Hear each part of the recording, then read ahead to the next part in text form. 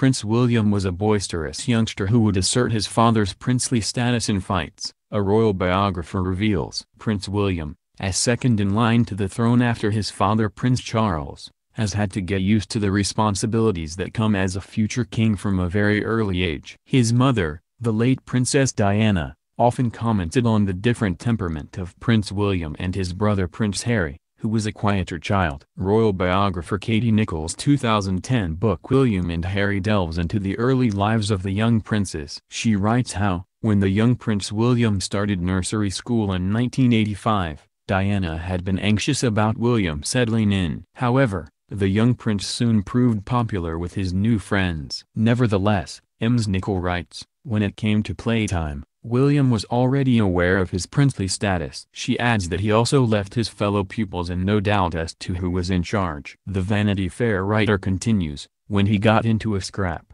a common event for the boisterous youngster, he would draw his play sword and challenge his opponent, my daddy's a real prince, and my daddy can beat up your daddy, he would shout. Ms Nicholl also reveals how the Prince and Princess of Wales gave their firstborn the nickname Basher Wills for the toddler's rambunctious temperament. The young Prince William's enrollment in a West London nursery in September 1985 had been Diana's decision, as the princess wanted both her sons to mix with with children their own age.